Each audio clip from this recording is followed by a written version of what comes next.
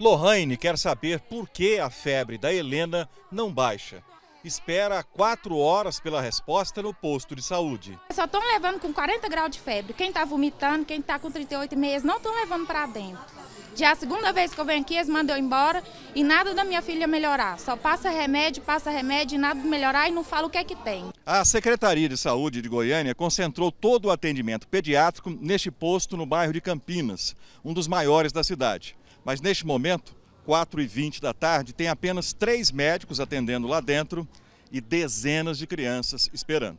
É inadmissível, é inaceitável, isso é, é uma vergonha para Goiânia. A Goiânia é uma capital muito grande, não só os, o pessoal de Goiânia que vem para cá, mas todo o entorno. A irmã de Wally Rani foi internada com pneumonia. Ela precisa de uma UTI que o posto de saúde não tem. Ela estava muito ruim, respirando muito ruim, sabe? Mas o TI não saiu? Não, não saiu ainda não.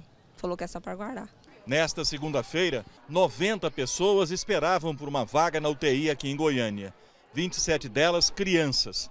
No sábado, um bebê recém-nascido também não resistiu à espera de um leito no hospital de Trindade, região metropolitana da capital. Um garoto de 5 anos morreu na recepção do Hospital Materno Infantil a única unidade pública que atende grávidas, mães e bebês no estado. Pelos corredores, macas com mães e crianças internadas. Carla era uma delas. Já tem quatro dias hoje e não está resolvendo problema nenhum. Eles não dão nenhuma posição se vai tirar o bebê, porque o bebê está dentro da minha barriga praticamente sofrendo, sem líquido, sem nada. Ontem mesmo eu cheguei a ver uma moça ganhando neném no banco. O Conselho Tutelar de Goiânia entrou na Justiça para cobrar providências. O estatuto está sendo ferido e o direito daquela criança está sendo ferido, né? É, nessa falta de atendimento. Então nós queremos que, sim que o poder público nos ajude a garantir, a fazer valer o estatuto da criança e adolescente, que garanta o atendimento dessas crianças.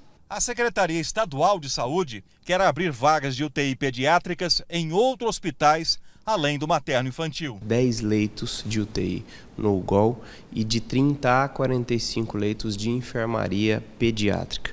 Isso vai diminuir a sobrecarga do materno infantil. A Secretaria Municipal disse que vai abrir concurso para contratar mais pediatras. A Secretaria de Saúde está preocupada com a situação, sim. Nós vamos abrir um processo de credenciamento para novos médicos pediatras né, com um salário diferente que é uma necessidade hoje que nós encontramos.